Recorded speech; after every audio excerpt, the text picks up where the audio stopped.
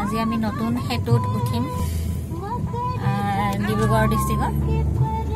এয়া আপোনাৰ বকুলৰ পৰা এখন নতুনকৈ অভাৰ ব্ৰিজ দিয়া হৈছে।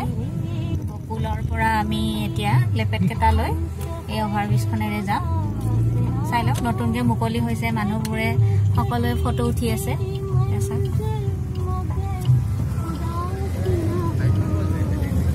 এইখন এইখন। এইটো ইয়াতে। মাজত গোল এটা দিছে বহুত ধুনীয়া। এয়া বহুত ধুনীয়া ৰাস্তা। নতুন বছৰত আপোনালোকে ইয়ালৈ ফুৰিবলৈও আহিব পাৰে। ইচ্ছা কৰিলে। ঢলা শদিয়া বগীবিল চাম বুলি আহিব পাৰে। বগীবিলো চাওঁ এইখনো চাওঁ।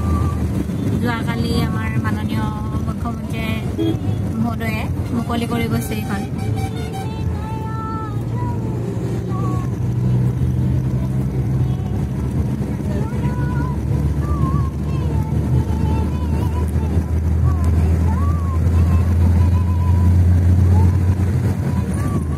দীঘল অভাৰব্ৰিজ এখন কাৰণ বকুলৰ পৰা আমি ডাইৰেক্ট আমি লেপেটকেইটা পামগৈ।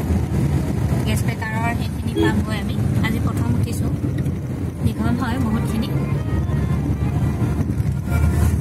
বহুত ধুনীয়া কৰি দিছে ৰাস্তাটো।